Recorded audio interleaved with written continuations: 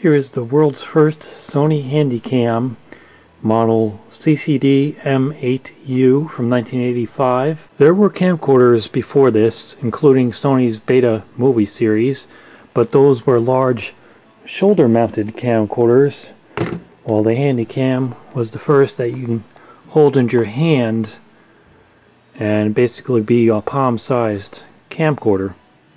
So you can see the size comparison right there quite drastic. And then this one here is the last Hi8 tape camcorder from Sony, the CCD TRV-138 from 2007. So they did not uh, reduce the size all that much due to the limitations of the size of the tape. There's only so much you can uh, make it smaller and still use this kind of tape inside there. So there's not that much of a difference between the first Video 8 8mm tape camcorder and the last from Sony.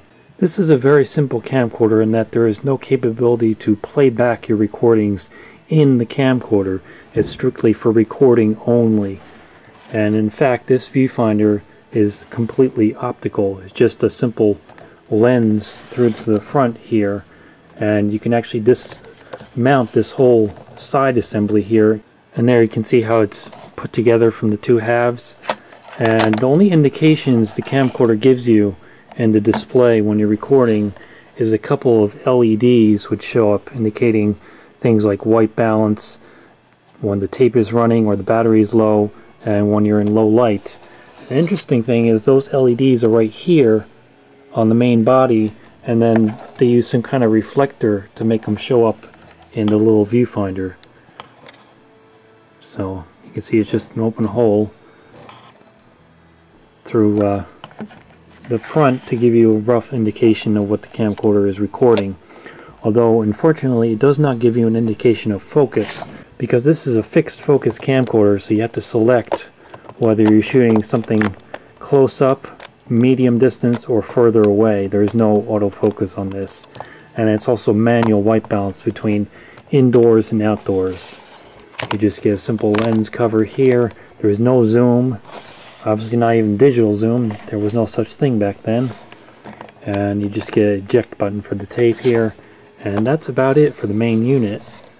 And on the bottom here, there's the date code. The 5 means 1985. And just a simple tripod mount down there.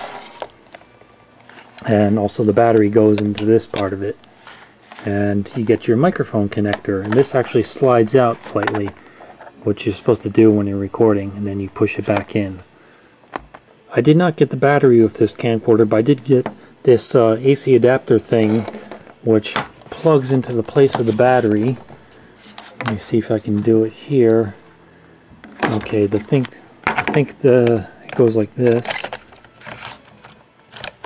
Okay that just slides right into the place of the battery and then you can uh, inject the tape.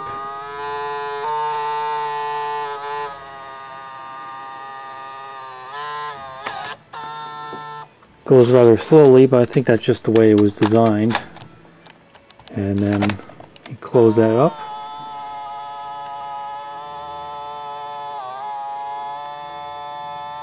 And then you're ready to record. And to start recording you just hit this button which tends to stick a little bit.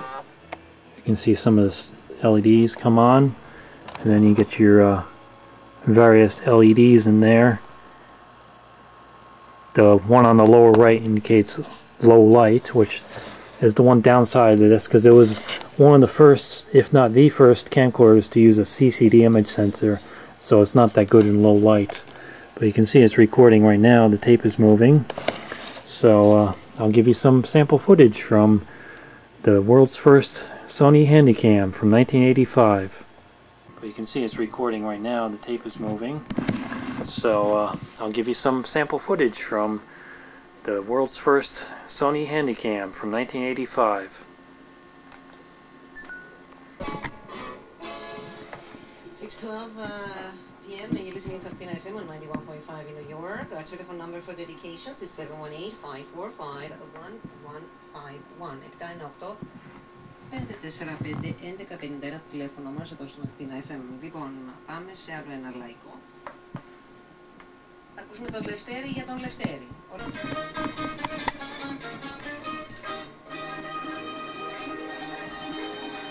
It's hard to judge the focus because the viewfinder gives you no indication of whether you're in focus or not.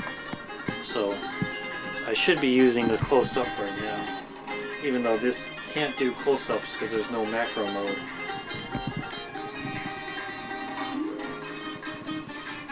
And something farther away, I'll try to put it in the medium focus. So hopefully that's good. There is no zoom, so can't zoom in or anything. And then across the room, I'll switch to distant focus.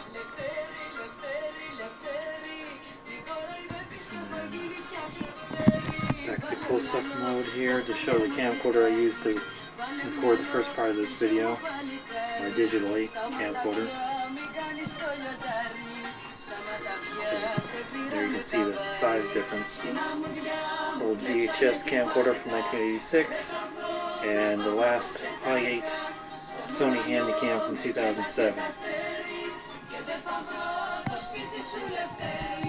Here's a here's the difference between outdoor white balance and indoor white balance.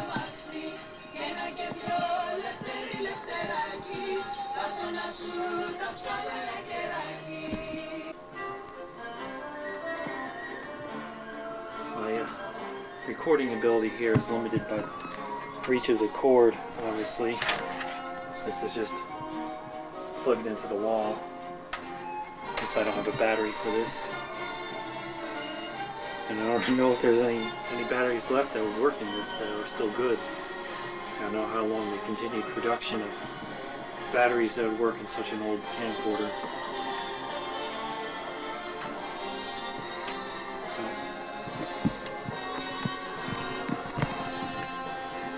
there you have it. Test video from the first ever Handycam. The CCD M8U from 1985 switch over to the CCD TRV 138 from 2007 just to give you a little comparison between the first ever Handycam and the last Hi8 tape camcorder from Sony. Uh, this one actually is not nearly as good as Hi8 can accomplish because they used a rather low resolution image sensor in this thing. So I've actually seen some regular Video 8 camcorders which have a better resolution than this but the one advantage is the excellent low light sensitivity. So unlike this thing which needs a lot of light to get good video this one does very very well and also has night shot and a spotlight and everything like that.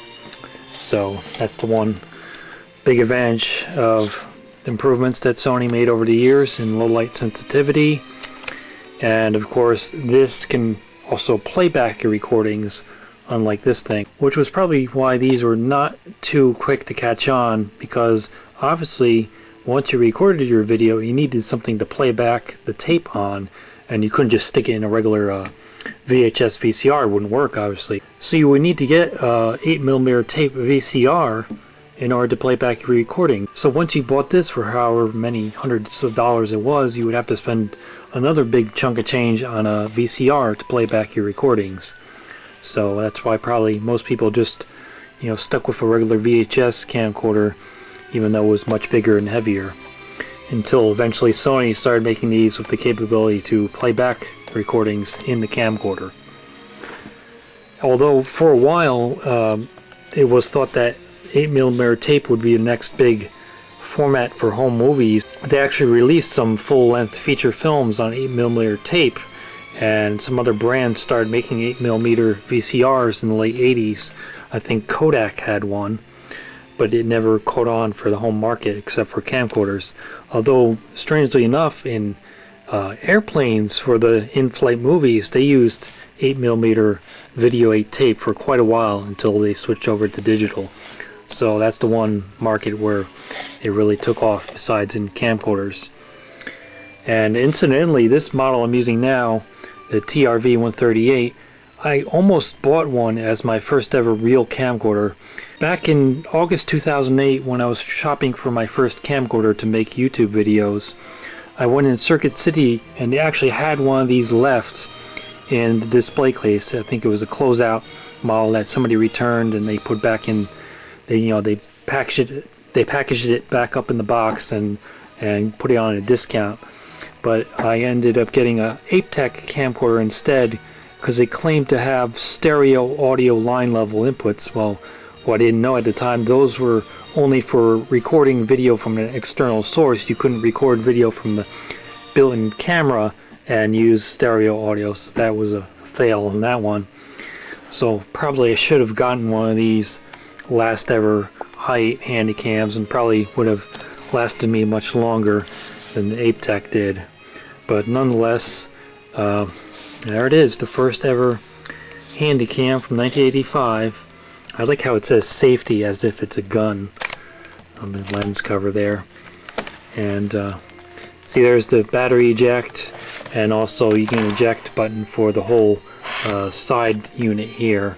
And a rather nice vinyl, almost leather-like hand strap, which is adjustable.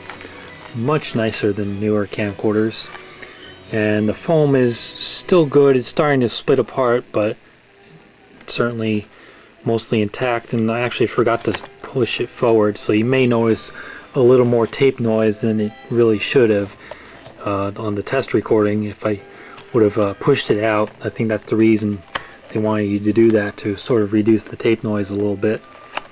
And theoretically, if you could wire up some kind of uh, adapter, you could use an external microphone with this.